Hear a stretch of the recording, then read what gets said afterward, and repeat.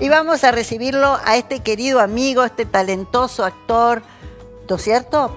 A este gran personaje, querido personaje por todos sus colegas y muy buena persona. Me encanta. Nunca vino acá. la- ¿Es virgen de nosotras Es cuatro? virgen, re vi- ¡Uy, es virgen! Pero hoy lo vamos a violar. entonces. ¿Eh? Hoy lo vamos a violar. Pobrecito. ¿Qué pregunta? De acuario. No se Pobrecito. escucha hablar de hombres violados. Hoy se va a escuchar.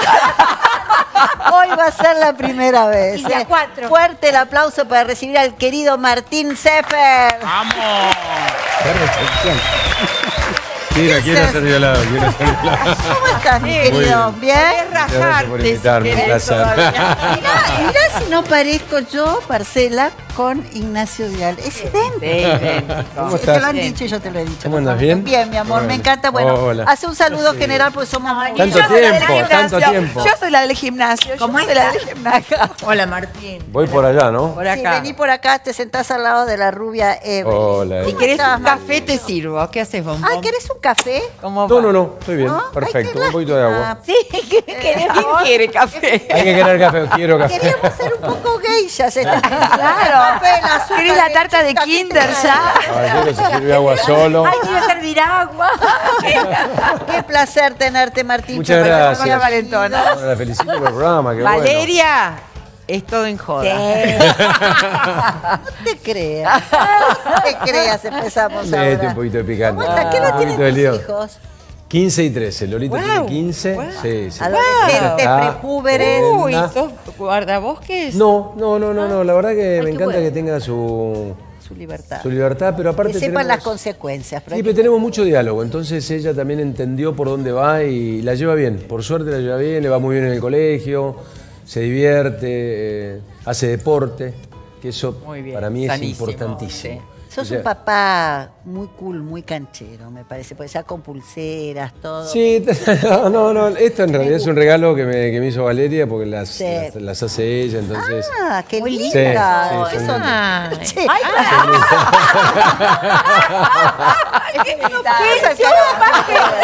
Ya nos fuimos al carajo.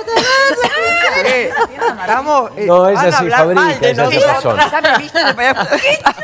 Bueno, acá parece que eh, eh, la doctora iba a un gimnasio que vos ibas. Sí, Sí. nos encontrábamos todas las mañanas ahí, claro. cultivando un poco, Cultiva- bueno, él bien. cultivaba yo. él cultivaba el cuerpo y yo lo seguía con tangona, iba atrás, pero no. pasa es que esto que te decía de Lola del deporte, ¿no? Es el- yo siempre hice deporte toda mi vida, pero siempre lo tomé como una parte de- importantísima. Me parece que es, más allá de lo estético, que está bueno, estar bien, tratar Es que, de estar... es que el, eh, sobre todo en los chicos, el deporte es sacarlos de un entorno de no esto o de cualquier otra. Les gusta. Entonces, ¿cómo pones el límite de la obligación a despertar la pasión o el deseo? No, pero los despertás, hay por una línea ejemplo. muy fina ahí, Sí, pero por ejemplo, eh, clases de tenis, clases de golf, clases de baile Sí, clásico, clases. Las clases de todo porque te dicen, me embola. Hay chicos que les embola Sí, todo eso, ojo, ¿eh? Sí, Entonces, los tenés que- también está en el ejemplo de Claro. uno, me parece. Los tenés que acompañar mucho también, eh, porque ellos hoy, de alguna manera, todos los chicos están con tema aparatos todo eso. el día. Y el aire libre, a a nosotros nos tenían que sacar de las orejas antes, cuando Sí, éramos Claro, de las orejas. Ahora los chicos es difícil sacarlos. Nuestros juegos eran, al- a- es decir, Hoy todo al a- alcance de la mano, entonces es Pero vos empezaste a ser deportista más grande. No, muy chico. Siempre de chico. Muy, Juega muy chico. fútbol, ¿no? Jugué al fútbol, jugué al rugby. El rugby me formó muchísimo. Eh, hice todos ¿Club los deportes, colegio? nadé. ¿En colegios o- No, club y colegio. Ah, Yo club y colegio, claro, toda mi vida. claro, claro. Bueno, Club de, Eso de es. Zamora que me formó y que me educó y que, que creo que tener un deporte grupal como formación es extraordinario. ¿Y haces porque- un eh, deporte que tus hijos se pliegan a vos, por ejemplo? Mira, yo no puedo jugar más al fútbol por un tema de rodilla y demás, pero lo acompañé, mi hijo se, se entusiasmó con el fútbol, después lo dejó, él ahora está mucho, él le encanta bailar, le encanta actuar, va a teatro, va a baile. bien. ¿El de 15 años? El de 13. El de 13. Lola va a tiene- teatro, pero ¿Y qué Pedro baila. Pero ya lo tiene tan Baila baile urbano, hace baile urbano. Sí, y, Ah, pero yo sé lo que es el baile urbano, es fantástico. y es difícil porque no todos los chicos eh, Les gusta. van a baile o les gusta bailar. Él, viste, los chicos están más con la pelota. Pedro Pero, se probó con el fútbol, después dijo, bueno, la verdad que no. Bueno, es un poco lo que estoy diciendo yo. Claro, sí, la sí, pasión sí, sí. pasa por otro lado también. y tenés Claro, que acompañar y no creer que ellos hagan lo que vos hiciste. Tal cual. O lo que vos querés que hagan. El día de mañana dicen el vos mandato, que vivan, te pones hecho un plomo ahí cuando vos decís, no, para mí tenés que... No lo fuerzo, pero entiendo y se- él me dijo que, que lo veía el tema, en ese- digamos, la formación de un deporte de equipo. Ahora, él, él veo que le gusta toda la beta artística, Sí. deportiva, que te ha visto mucho a vos. Sí, ¿Lo has sí. llevado a los sets a hacer cosas? Lo he llevado siempre, lo llevo mucho al teatro, lo llevo mucho al cine. eh, Pero la nena también. Lola también estudia teatro. Sí, sí. Eh, la verdad Pero en que... una mujer no me sorprende. Claro. No me sorprende tanto una Sí, mujer. es verdad. En un varón de 13 años está muy marcada la vocación. Aparte, realmente no porque sea mi hijo, pero Es bueno. es bueno. Ay, Y, y- es, es con-.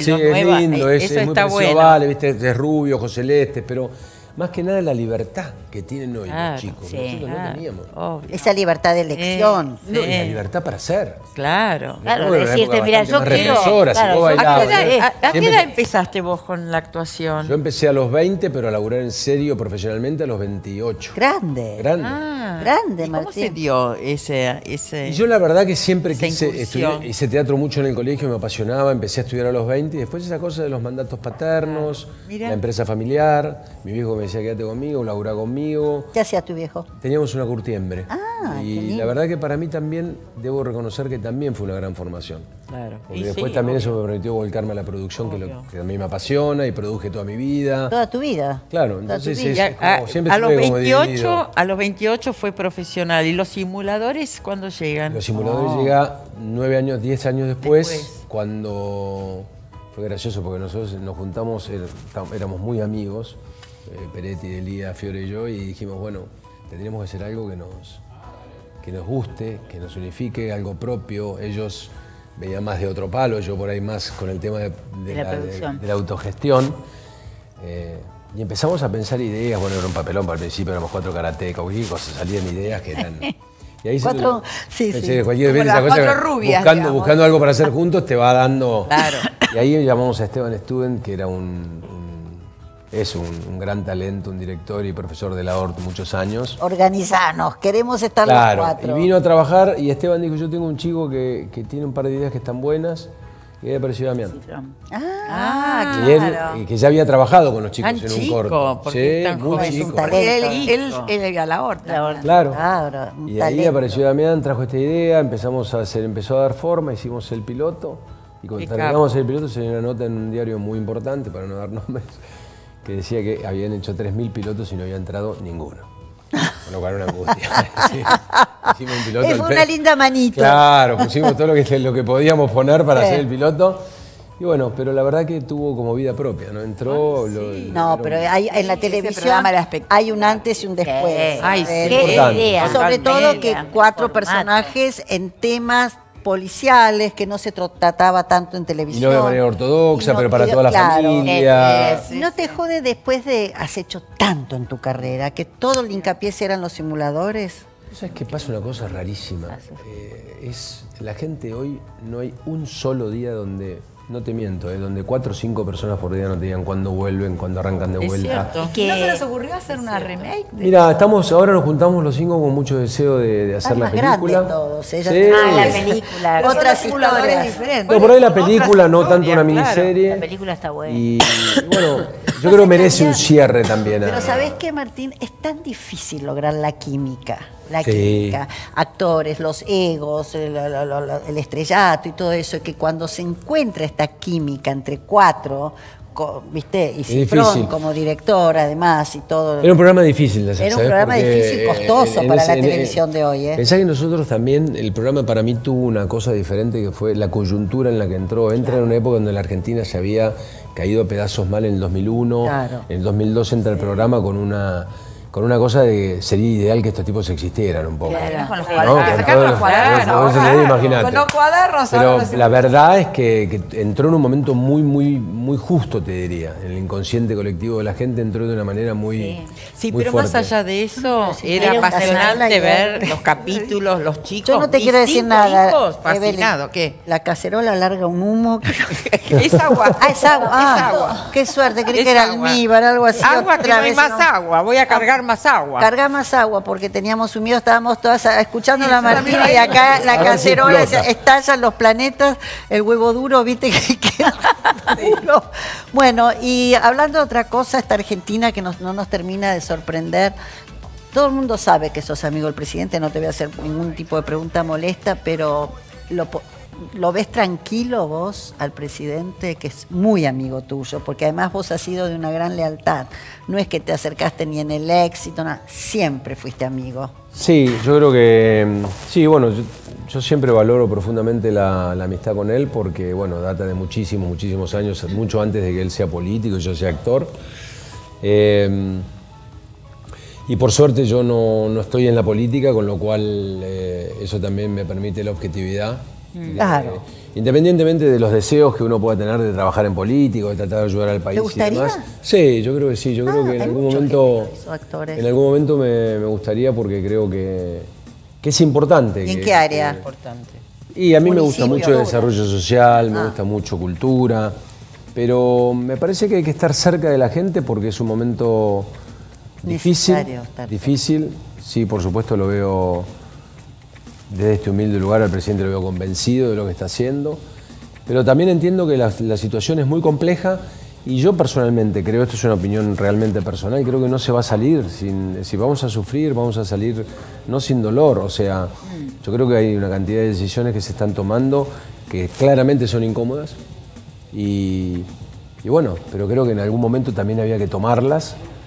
Lo que no hay que dejar es de acompañar a la gente que, que peor la está pasando. lo que estás diciendo. Claro. Porque No se sale sin sufrimiento. No, Y además no, no. teníamos, éramos todos manteca al techo eh, en este país. Y la verdad es que a veces, eh, yo siempre digo, a veces nos gusta que nos arreglen las calles, pero que no las corten para arreglarlas, ¿no? Claro, sí, es verdad. Es cierto. Es difícil, ¿viste? Cuando te van a arreglar una calle que después queda bárbara, vos estás, Ahora, eh, no- eh, dicho de mala forma, estás puteando porque te cortan la calle y no, que te voy a dar la vuelta, que tarda. otro día con, eh, con Puerto Madero. Va a quedar lindo. Bueno, pues eh, los, los Hay que restaurantes se quejan, pero va a En quedar este caso es diferente porque hay mucha gente que la está pasando mal. Eso, hay que mirar un poquito para abajo. Y no, siempre hay que mirar para abajo y hay que acompañar a la gente, pero también vos podés pensar que este es un gobierno que ha destinado un altísimo porcentaje de su presupuesto para seguir con los subsidios y con, con todos los temas sociales. Yo creo que se ha hecho un trabajo fortísimo que jamás se ha abandonado.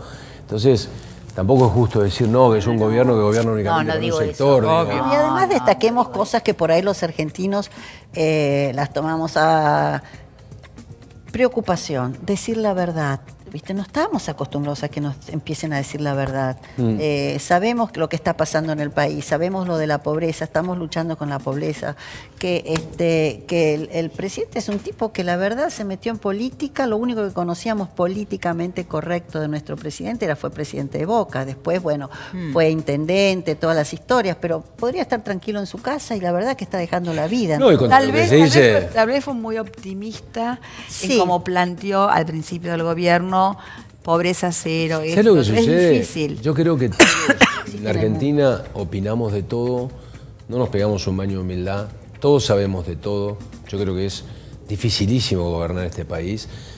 Uno puede pensar que desde la comunicación se tendría que haber hecho una cosa, otros pueden pensar otra. Yo pienso que se tendría que haber dicho todo de una manera mucho más cruente, mucho más clara. Otros te pueden decir no Sí, pero convenía. también es presidente y nosotros lo decimos No. sentados en una mesa acá. pero Obvio. ver, Es lo mismo que se dice, no, tendría que haber hecho que yo que la entrada, ¿no? Yo que entonces digo, me parece que man- manejar esa sensibilidad no es fácil y me parece que, mm, que estamos en un país que, que estaba muy complicado, que estaba muy desordenado y que hoy eh, muy es endeudado, complejo. muy complicado, muy corrupto, absolutamente. muy corrupto. Mirá lo que seguimos descubriendo.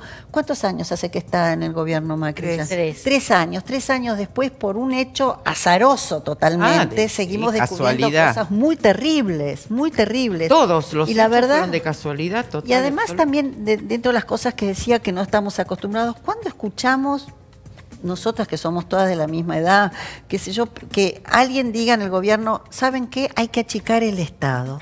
Cuando acá lo único que se hizo fue inflar el Estado, desnutrir al Estado.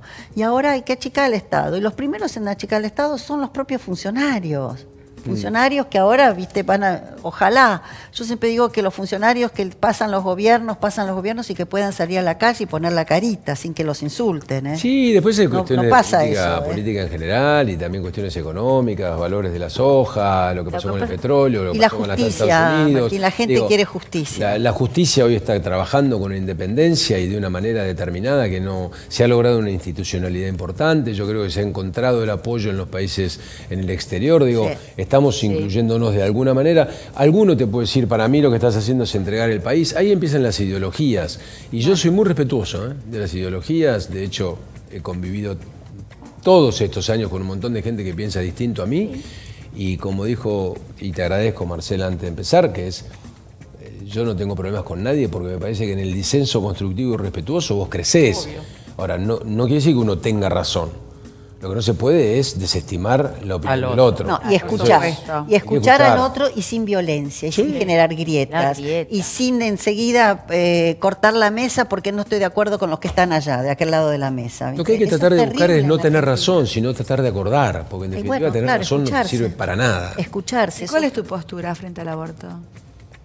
Yo estoy a favor. Claro. Yo estoy a favor.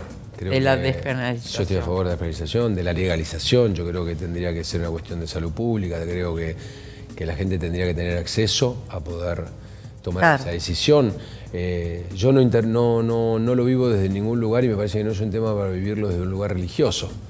Creo que tiene que ver, Totalmente. es otro tema. Alejarse pasa en este por otro lado. tema religioso. Alejarse. Para mí hay hay que que alejarse, para mí hay que Hay que pensar que, hay un montón de gente que no tiene esa posibilidad, un montón de gente que muere por hacerlo de manera clandestina. El aborto existe y va a seguir existiendo. Y no, que- y no va a aumentar. No es que uno dice, "Ay, No. este Yo fin de semana vamos a abortar todas juntas. No creo que ¿Qué la es? gente entre en esa situación por No. ni, ni por desidia, ni por. No, no.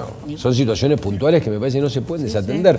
Respeto, porque otro día una discusión con quien pensaba como yo, que se enojaba mucho con la gente que estaba en contra o con aquellos que votan en contra.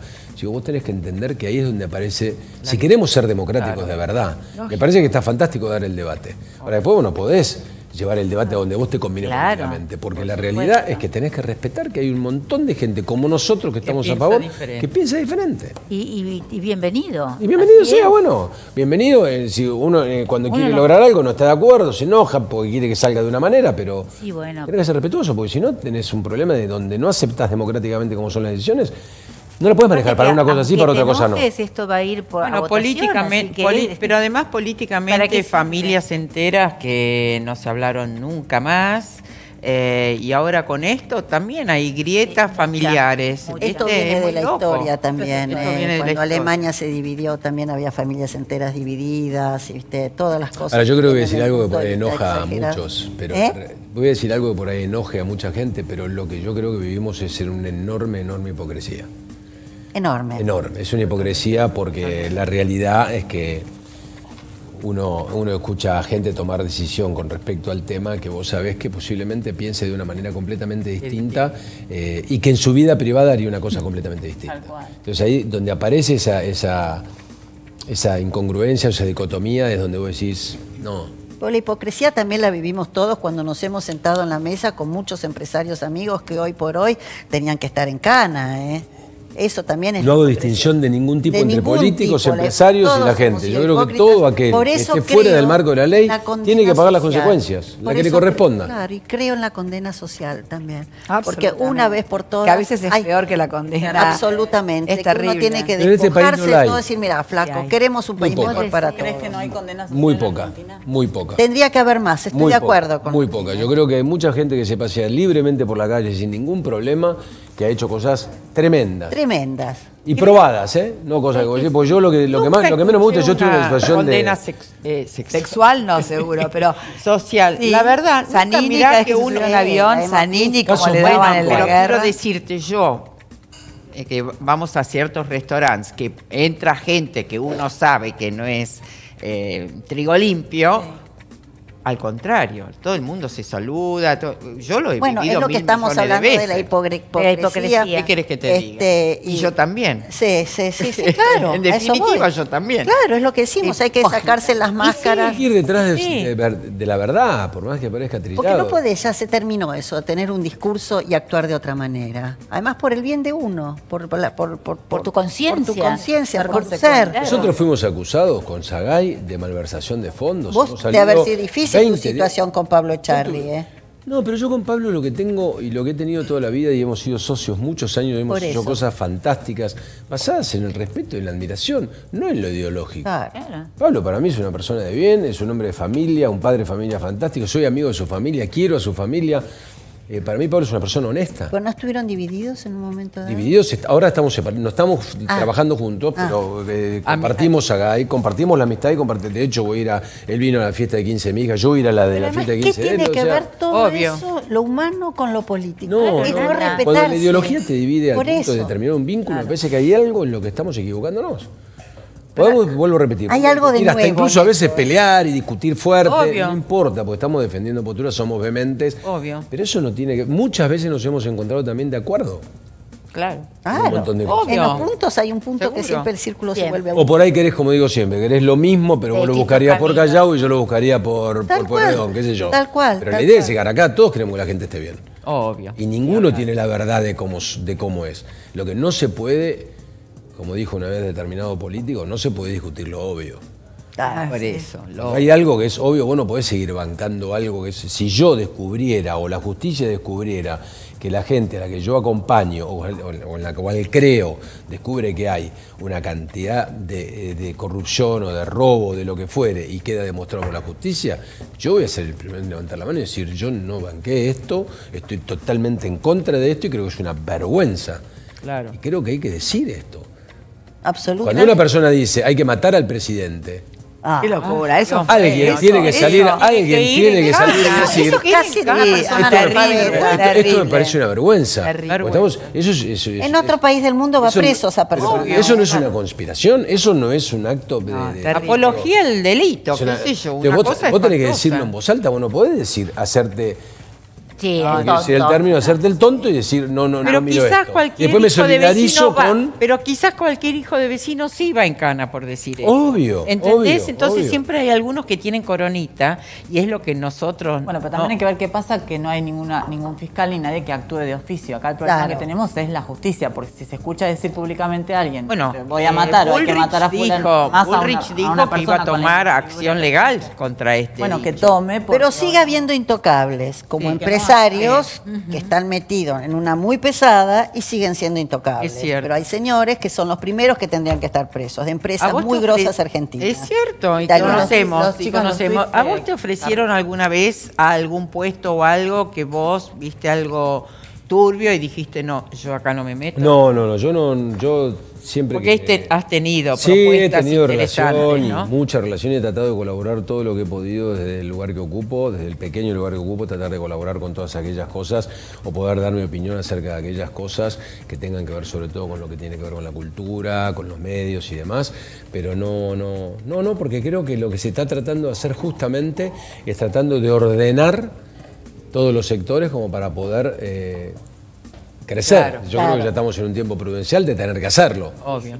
Pero la realidad es que llevó bastante Y tiempo. además a mí también me molesta, la verdad que est- estuve afuera unos días y que por ahí escuchaba o leía los noticieros, veía los noticieros, perdón. Eh, está en juego la democracia, acá ya no está más en juego la democracia. Terminemos de utilizar eso. La democracia está instalada en nuestro país. Esto es atentar contra la democracia. ¿Quién De- puede pensar que Bueno, está en pero muchos piensan Sí, que- qué lo sé yo, que bueno, a- yo, piensan y no- lo yo no dicen. estuve de acuerdo con esta cosa de la patria está en peligro y lo dije que la- claramente. Vuelvo a repetir, me parece bien que la gente se pueda manifestar. Me parece que utilizar esa, esa frase tan poco feliz, utilizada en una época tan compleja de la historia de la humanidad, para iniciar una marcha me parece que es un error enorme. Terrible. Por otro lado, me parece que que se pida un crédito en el Fondo Monetario Internacional no, es, no pone la patria en peligro, Ah. No pone la sobre patria en todo si es a un, a un valor muy inferior al que se podría conseguir en otro lado. Pasa que nosotros también tenemos una cantidad de historia y de antecedentes que hacen. Claro. Eh, heridas frente a tal determinadas cual, cosas y abiertas, determinados nombres, claro, son ideas que están abiertas y obvio, entiendo que te da pánico. Y entiendo que Entras en genere este- pánico, este, sí. problema, Sí, pero me es parece que hay que ser, eh, me parece que hay que dividir la paja del trigo, me parece que una cosa no tiene que ver con la otra. Absolutamente de acuerdo, sí. No, perdone, a la hora de actuar con muchos de los actores compañeros tuyos que se manifestaron eh, con La Patria está en peligro, vos dejas de lado, como decías, este, y bueno, es que si no, hay que aprender a hacer eso. si no haces eso, esto es como el matrimonio, es como, como, la amistad, como todo. Hay que respetar, no estando de acuerdo, pero no estar de acuerdo no implica ni agredir, ni menospreciar, ni ningunear, ni, Ni tratar al otro como si fuera un tonto. El otro tiene su idea y su convicción. Y, y bueno, y la lleva adelante. Después, si es verdadera convicción, o es una cuestión política para deteriorar, o es una- un elemento para ver cómo hago daño, eso es una cuestión que queda en cada uno. Pero vos de arranque tenés que ser respetuoso. Sí, sí. Como no acepto que nadie me venga a decir a mí qué tengo que pensar, decir o con respecto a determinados temas.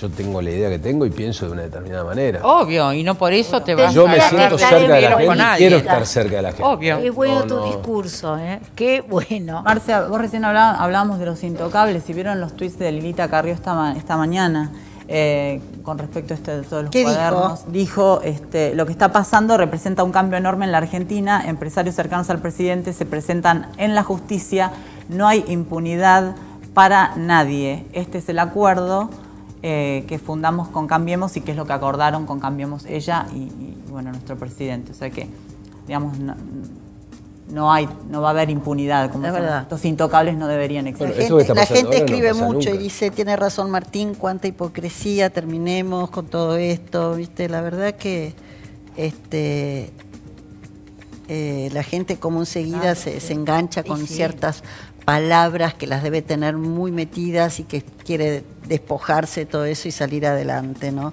Em, ¿Y qué, qué proyectos tenemos, Martín, para salir de la Mira, la verdad es que fue un año de, de bastante reacomodamiento, la separación también de la sociedad con Pablo fue un Claro, un un poco para los dos, pero me parece que también era necesaria. Y por otro lado, yo estoy con una productora solo, por primera vez estoy solo, que también está bueno, es una buena experiencia. Y, y armando contenidos, armando contenidos para producir acá, para poder vender afuera, que es una cosa que me, que me apasiona, siempre con un ojito puesto en, eh, como te decía antes, en, eh, hoy hay, hay una cosa que me sucede, una vez lo hablaba con en una nota que hice con Nes- Nelson Castro, que es como que me duele mucho la herida ajena ya, ¿no? Me empieza a pasar que ya me, me empieza a afectar. eh, tuve la suerte de hacer un programa para una productora que tuve la, la posibilidad de recorrer 13 provincias y poder conectar con gente. Eh, ¿Programa que salió al aire? o no? Va a salir al aire. eh, Es el de la TV pública. el de la TV pública. Ah, lo vi, lo vi el Es un programa que tiene que ver con gente común con vidas extraordinarias. Ah, sí, qué lindo título. Sí. Sí, se, llama, se llama Todos Somos Y Uno. los avances son muy buenos. Sí, pero más que Es que nada está lo- muy buena la TV Lo pública. más interesante es esta cosa de, de juntarte con gente en lugares realmente inhóspitos, gente que vive de otra manera y con otra filosofía, y vos ves que empuja y que va para adelante de una manera. Te hablo de una señora de 87 años, partera de los 16, que vive en el medio de la nada literal, que tardás tres horas en llegar a su casa, y vive sola y atiende a toda la gente de esa comunidad desde su propio peculio. Qué bárbaro. ¿eh? Qué va, sí. Son vidas muy inspiradoras, porque vos decís, y a veces uno se queja y decís, "Qué quejante". Es cierto. No vemos nada, vemos Es nada más que acá. Por eso O ese, digo, nene, o ese nene que que- llegaba al colegio atravesando todo. Sí. ¿Te acordás? Es un maestro, Todo. un maestro salteño que tardaba dos horas a caballo, pero vos decís, ¿Cuántos hay de eso? pero en el fondo, esté donde estés y ocupes el lugar que ocupes, todos somos lo mismo en definitiva.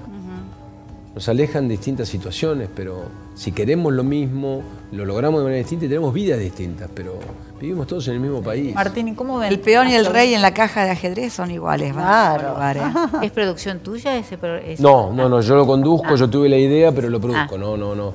No, no, mira, casualmente justamente por todo esto. No, no, no. Claro, para que no te digan, no ah, mirá, Imagínate, no, porque entonces Es le van propaganda, sí. En la televisión pública trabaja todo el mundo, ha trabajado todos los pensamientos habidos y por haber, pero yo trato de, como soy una persona honesta y hago las cosas seriamente, trato de ser lo, lo- más prolijo posible justamente para que no... para que no haya ningún tipo de, De malentendidos. de no acusaciones o lo que sea. Tenemos que ir a una pausa, ¿no? Tengo, me, me estaban diciendo, a ver, esto es lo que vamos a ver. Ah, volvió Novak. Volvió. Se fue, lo hacía Pero para mí volvió, no te vayas, Martín. No, me quedo Presta acá. atención Lo hacía yo por vos. ¿En serio? Bueno, los productos no lo hacía Tommy. No. Los productos Novactiv son dermocosméticos seguros, confiables y de alta eficacia, con conceptos e innovadores e ingredientes de generación. Si querés conseguirlo, llama ya, ya mismo, al 156-826-6778. También búscalos en Instagram. Son buenísimos, Julián. Exactamente, Marce, tenés un producto Novactiv para cada necesidad de tu piel. Consulta con tu dermatólogo de confianza cuáles son los productos Novactiv que tu piel necesita. Hoy te quiero presentar Poliactiv IAT, un serum concentrado de ácido hialurónico que reafirma, hidrata en profundidad y recupera la estructura y densidad de la piel. Marce, te extrañamos y Novactiv también, acordate. Gracias, gracias, gracias, gracias. Me va a venir brutal porque tengo la piel seca por el sol. Así que, ¿alguna novedad en las redes sociales que me quieras contar? No, lo que dije antes era un chiste. ¿eh? Eh, No, no, porque si querés seguimos con las redes sociales, pero uno- era- era- una noticia más. Sí, veníamos por ese ah, lado. por ese lado, No, la sábana, sí, la espalda, lado, sí, sí, este, sí, la panza. Sí, no, bueno, no, le, te Muestran el- todo en las de- redes. De Lilita Carrió, que fueron dos tweets que, que vienen siendo muy retuiteados porque Lilita de alguna manera está demostrando y de alguna forma también presionando, digamos, el acuerdo que hizo con el gobierno. Es, es una de las cosas que están más resonando. Después está, tenemos como trending topic, este, bueno, este, todo, todo esta- esto de los cuadernos, este, está ardiendo el Twitter con eso. Si El nos ponemos serios, nos tenemos que poner muy, muy serios. El cuaderno. Bueno, tenemos un beneficio, que la Argentina todavía tiene suerte. Aparecen estas cosas ¿eh? para descubrirlas, para que nos enteremos. Que todo lo que había, lo que viene, se viene arrastrando de este país es muy turbio y ojalá podamos, podamos Y tener te un poco digo, de sigue claridad. siendo el granero del mundo porque sale de todos lados. crece, crece. Crece plata, Qué sale plata de todos lados. Ah, qué se ocupan en el mundo mucho de hablar de nosotros, ¿eh? No te creas. Bueno, lo de, la, lo de los cuadernos fue... No, lo de los cuadernos Dicen que es el. Creen que cine, argentino, creen que ¿eh? cine realmente. Bueno, les cuento, nuestro sponsor reloj es Montreal, el reloj más vendido del país. Me encantan, descubrilo. Es la nueva colección en las redes sociales, arroba relojes guion Montreal. Y para saber que son tan bellos, Martín, tenemos uno para vos. ¡Bravo! Montreal. Montreal para vos de regalo. No te vayas, ¿eh? Vamos a seguir acá. Quiero sacarme A de una duda públicamente mientras que Martíncho. ¡Guau! ¡Ay, qué lindo! ¡Ay, qué bueno! Ya, ya, ya. Ah, no, Te es pega con todo el equipo, che, con las pulseras lindo. De me Valeria. encantan. Me encanta. ¿Dónde las Gracias. vende? Vamos a pasarle la. hace- hace toda fasones y se lo vende a las marcas. A las marcas. Ah, ¿Es toda una o son varias? Son varias. Son Ah, muy pero se ve, canchera. Se ve y Muy le puse- linda. sí. Bueno, Muy es- linda. está bueno ¿Es cuero y plata? ¿Eh? ¿Cuero y plata? Es cuero, no, no, no, no es plata. es- no sé qué material es, pero me No encanta. importa. Ay, cuero y Me encanta. Qué lindas en los hombres, Lo ¿no? que Que es quedan. este mundo. Los hombres ahora promocionan los productos Acabo de las mujeres. acabo de decirle. ¿En serio? Le estamos este. Sí, pero bueno, el mundo es así. Está muy el bien. mundo es así, Pero aparte el las las cosas van cambiando. Rubia, sí, voy a un corte chino, pero antes quiero saber cuánto tiempo lleva la torta. Tenemos Me preguntás cosas raras al aire, gorda. Es la primera vez que la hago, vamos a tratar de hacerla rápido. Porque te propongo una cosa. ¿Cuál? Vamos a ir a un corte, seguimos hablando un poquito con Martín. Hacer la torta, si no la podemos comer hoy, la comemos mañana. Obvio, eso. No, sí, obvio, eso sí. Lo siento por los invitados, les tiramos con una galletita, pero mañana, si no vengan mañana, hoy va, mañana comemos. una ¿eh? tostadita seca. Sí, sí, sí, por supuesto. Y tra- recuerden que en el- eh, ¿es tu primer matrimonio este o segundo? Este es el segundo. Yo me casé cuando tenía eh, 24 años con Raquel Mancini. Claro. Ah, con Raquel Ah, claro. Tipo no caer de la silla. Pero no sabía. Sí, Ay, ¿qué te haces la canchera? ¿No la sabías? Ahora Tampoco sí lo lo recordé. sabía. Ah, sí, ahora lo recordé, Tenía claro. 24 Raquel tenía 20, una época. Sí. ¿Y cuánto tiempo Ah, qué? Y casados éramos chicos, tres años. La y belleza de Raquel Sí, en ese. linda, Ah. Muy linda, muy linda. Era Bueno. espectacular. No te da sorpresa, sorpresa te da la vida. No tenía la menor idea, pero está bueno eso. Igual Con era. algo te sorprendimos. Sí, me siguen sorprendiendo. Qué suerte que no pierdo Sí. eso. ¿eh? Eh, vamos a, a ir a una pausa. Seguimos con Martín, Evelyn, que va a cocinar la torta Kinder bueno. No Hay dos clases de kinder, la gente con chicos sabe. Kinder bueno y kinder. Yo tengo un montón de chicos y no lo sé. bueno, No le eh, compras. Es el que tiene... El rosa y el celeste. No, no, eso son los El rojo huevos. y blanco. ¿Viste que están las Ah, pero yo me quedé con el huevo, mi amor. Ah, Está el huevo y está las barritas, claro. Acá no hay huevo. Ah, Las galletitas. Ahora te voy a mostrar. eso. Ah, Ahora te voy a ah, mostrar. me quedé con el que huevo, el huevo Kinder. El rosa, el celeste, hay otro. Hay Bueno. otro, hay otro. A mí me pedían Kinder bueno y yo decía, Para ¿qué? que no haya discriminación hicieron el rosa. Ah, está bien, está bien, perfecto. Y recuerden que va a estar con nosotros Silvia, la licenciada Silvia Salinas, psicóloga y escritora, que vamos a hablar sobre todo eso que seguramente a ustedes, hombres y mujeres, les asusta, el duelo por la separación, por el divorcio. ¿Qué hago después? ¿Qué sigo? Vieron que los hombres... Acá tenés, te puede Bueno, contar. escuche, esto era muy chiquito. Este, no, y, y extrañan la vida doméstica. Claro que sí. hombres, La organización. Querrían ir a comer, a que Les le laves la ropa. que les lave. Claro. Las mujeres extrañamos. quieren casar ¿con quién voy a dormir después? Otra vez empezar de nuevo, que la celulitis, que todas esas cosas frikis. Pero hay cosas mucho más profundas que son las difíciles a resolver. Por eso la, la licenciada Silvia Salinas va a estar con nosotros en un ratito. Todos conversan en otras cámaras. Dígame, ¿pasó algo que no estoy enterada? Ah, bueno, me quedo otra. bueno, enseguida volvemos acá con las rubias, ¿eh? no se lo pierdan.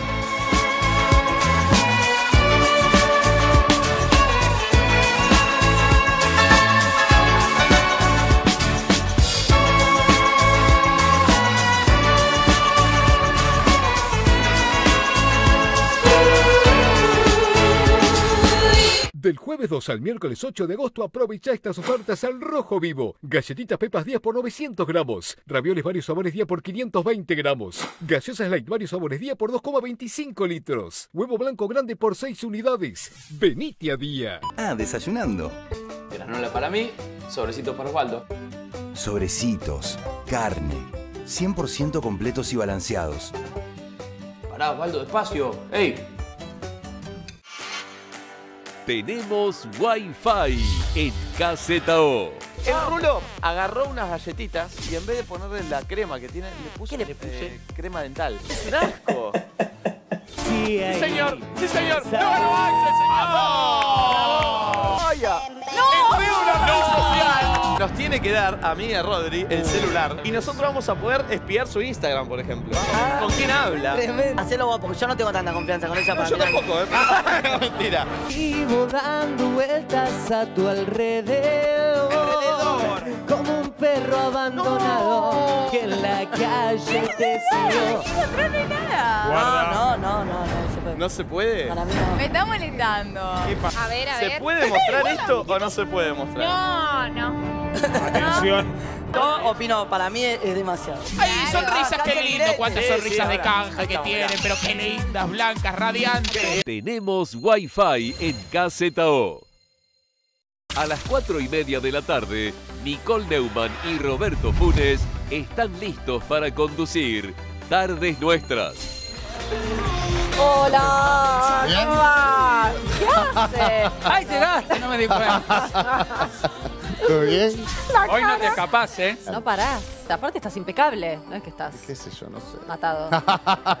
Las que te habré dedicado al Mendoza, mi amor. ¡Ay! ¡Ay, la duración que tiene! Esto se degeneró, culpa tuya, culpa tuya. La primera vez que lo veo nervioso a Robert.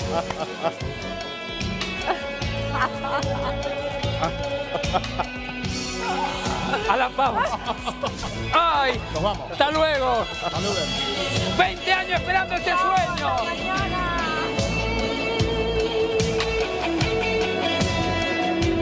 A las 4 y media de la tarde, conectate a KZO.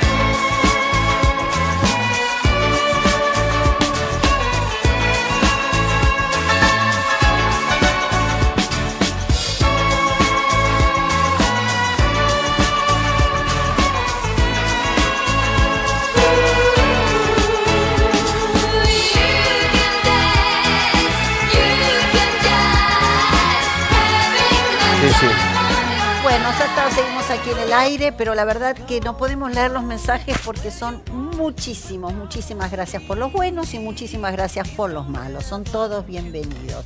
No hagamos una grieta telefónica, aceptémonos con las opiniones de cada uno, eso sería lo más genial de todo. Martincho, bueno, eh, planes ahora políticos, tranquilo, empezás con tu programa, Ahora de cierta es- manera es una empiece. forma de reintegrar el país, Sí. de, reunir y contar historias, eso me Sí, encanta. aparte como experiencia personal fue importantísima porque escuchar a mucha gente que de distintos eh, de distinta clase social, de distintos trabajos, de distintas posiciones eh, y también de distintas ideologías, obviamente. Siempre es como muy, te nutre mucho, te enseña Tal cual. mucho y, Que ibas y te cambia. venías, sí, ibas. sí, me ¿Cuántos quedaba, me quedaba dos, son? tres días. ¿Cuántos capítulos son? Trece. Ah, Trece. recorriste Sí, lindo. Sí, Ufa, sí, sí. la verdad que fue mucho laburo, duro, pero Bien. Muy, muy, muy agradecido. Por sobre Bueno, todas las cosas, muy yo sé que me, me apuraron porque sé que tenés que ir a buscar a tu hijo al colegio. Debe hacer Así que te quiero liberar, agradecerte que estés acá, es un placer No, enorme. para mí fue un placer enorme venir, disculpe porque me había Y te vas invitado bien.